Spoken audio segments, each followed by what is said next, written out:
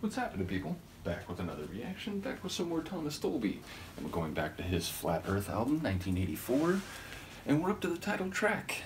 So I wonder how we might make use of this concept, um, which, you know, historically, going back in different cultures, um, was often, not always, but often the standard view that Earth must be flat and ultimately, um, in some cases, uh, through scientific endeavor, in other cases, through their own cultural paradigms, but increasingly, the notion that the earth is round uh, began to take hold.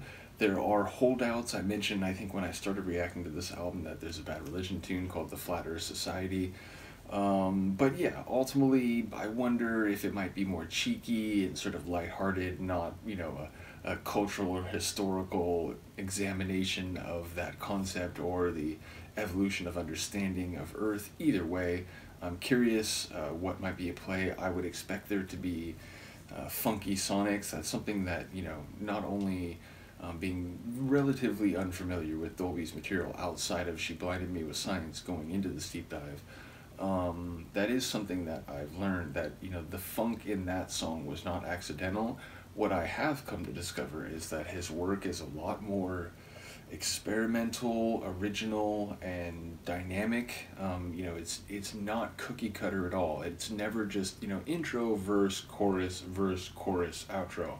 Like it's never as simple as all that. And even the parts themselves, the verses, the chorus, there's often a lot of lyrics, a lot of words, and meetings going around, as well as a number of sonics which you know either have a like really quirky rhythmic scheme or are otherwise um, you know an interesting blend of different elements. So let's find out what this one is all about. This is thomas dolby. The track is the flat earth and it's the title track of the album of the same name 1984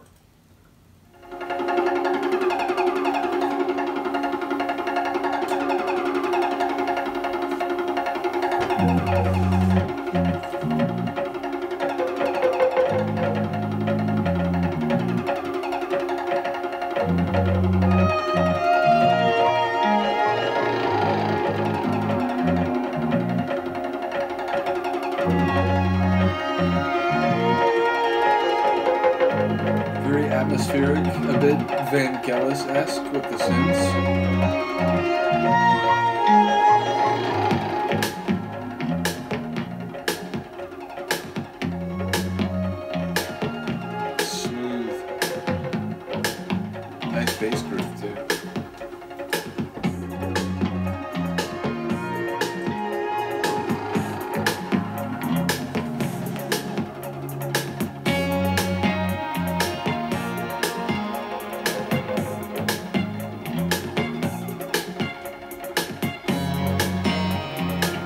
Like the forte of those piano chords.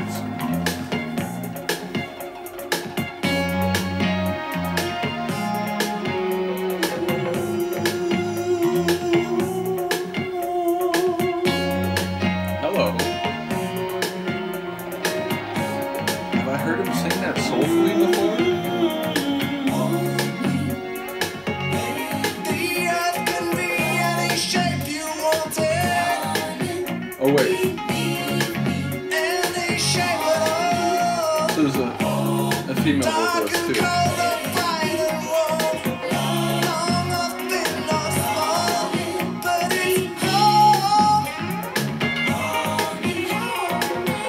African music silence here.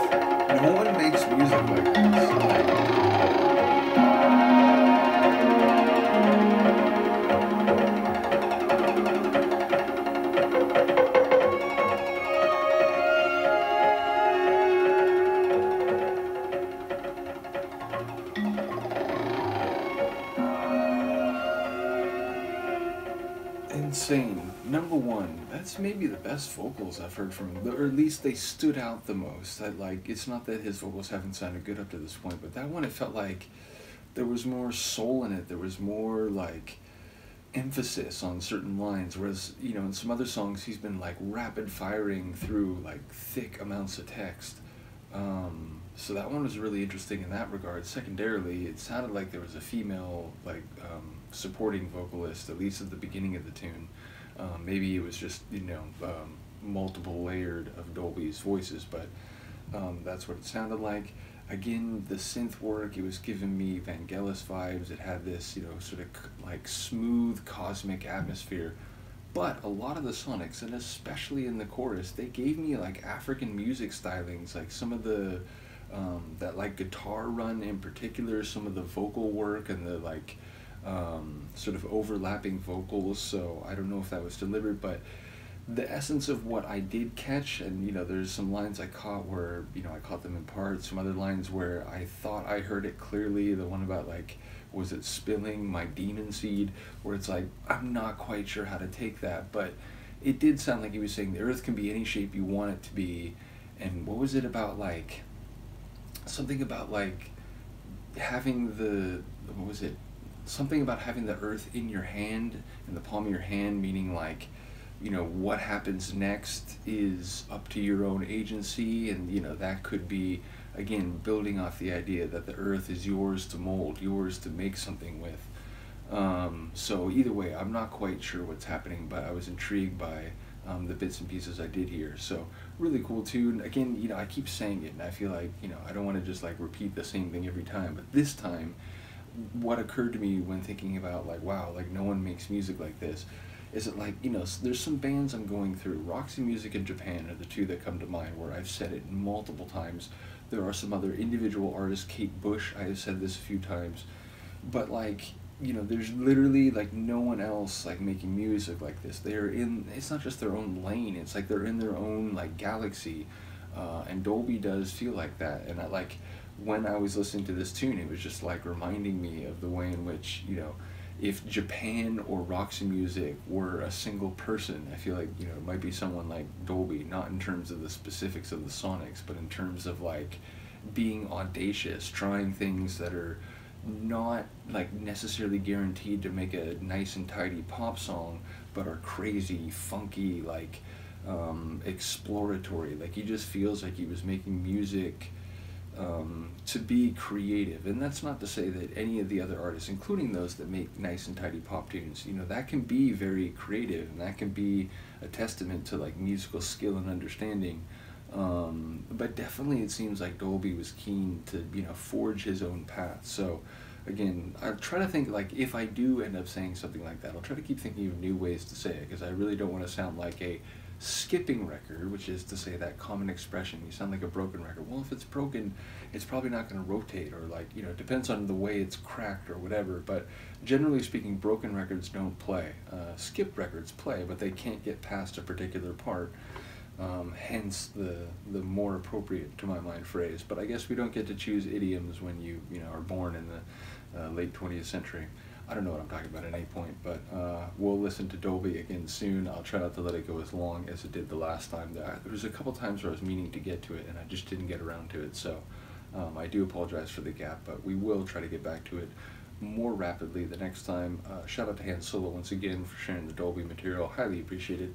Let me know what you think. I'll see you next time. Peace.